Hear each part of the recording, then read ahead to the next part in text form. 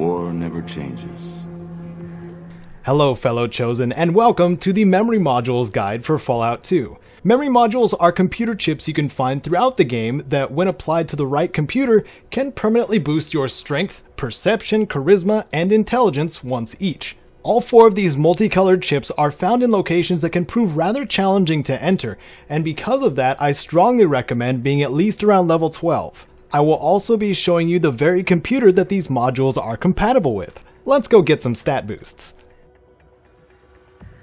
The first of the four chips we're going for is the Red or Strength module. This one is located in Vault City. More specifically, it's inside of Vault 8, normally accessible to only citizens of Vault City. In order to gain entry, you can have citizenship documents forged in customs if you don't meet all the ridiculous stat requirements for the citizenship test. No matter what, it's about the destination here, not the journey, right?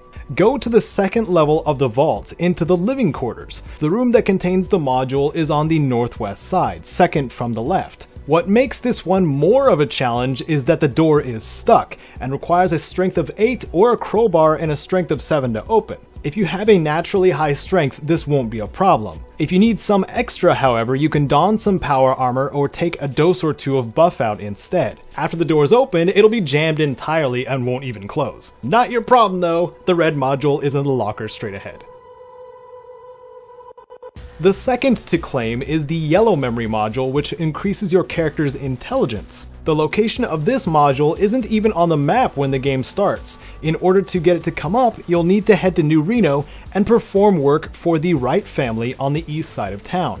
Complete the Wright's first mission in finding out who killed Richard Wright, and Orville will then ask you to gain entry into an army base also known as Sierra Army Depot. The location will then appear on your map just northwest of New Reno. If the bodies out in front don't give it away, this place is deadly.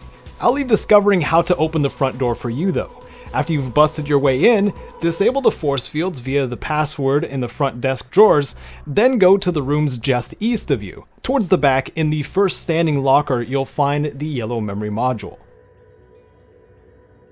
Module number 3 is the green one, which will enhance your character's perception. This one is also found in a military establishment with a similar situation as the Sierra Army Depot, but without the terrifying gun turrets. On the south side of the map, east of San Francisco, is the military base formerly where the mutants were being created for the Master's Army. The entrance is collapsed, but combining the mining cart, metal pole, and some dynamite, all which can be found here, will get it back open, provided you have the strength to push the cart. After getting inside, Mariposa will be dark and full of poisonous mutated rats. But back to searching for the module, just kidding, it's on level 3, and the elevator is the only way for you to get there. Unsurprisingly, the power generator isn't working, so the elevator doesn't have any power. You can run your own repair skill against the generator, or if Vic is in your team, he can get it working no problem. Once you've jumped through all these metaphorical hoops, take the now working elevator to level 3, squash some more rats, then search the nearest room with the rusted out locker.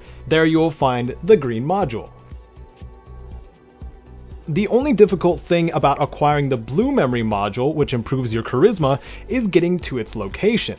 This one is found at the Enclave Outpost, Navarro. The story of Fallout 2 will take you to this point of the game eventually, and this objective will also gain you access to the computer you can use the modules on. Getting to Navarro, which is on the coast between Arroyo and San Francisco, is best done with the car and a high outdoorsman skill, some patience with saves coming, and or the firepower to take out those Enclave patrols. After you reach the Enclave outpost, you'll start at a gas station? It's just a front, and the single guard can be convinced to let you into the base or just killed. Take the trap door in his shack and go down into Navarro's underground. Here you can take the absurdly long corridor over to the outfitter who doesn't give your looks a second thought and tells you to gear up in the next room full of lockers. There's tons of goodies here that they just hand to you, including the blue module found in the fifth locker down.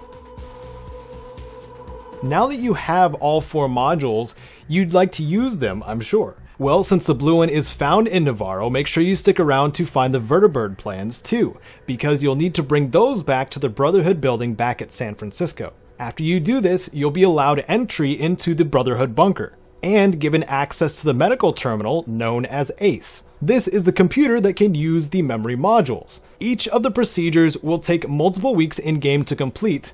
Unless you're retrieving Chip's spleen or something, you won't have to worry about the time these procedures take. If you've followed this guide, you'll now have a permanent one point boost to your strength, perception, charisma, and intelligence for the rest of the game. Which area was most challenging for you? It was the Sierra Army Depot, wasn't it? Let me know in the comments. If this guide was entertaining or helpful for you, do whatever you see fit to show that. And if you're interested in being among the awesome wastrels credited on screen and want to support me at the same time, check out the Patreon. Thanks so much to Wasteland Legends Sven, and thank you for watching. This is Caedo Genesis, wishing you a safe journey in finding the GECK.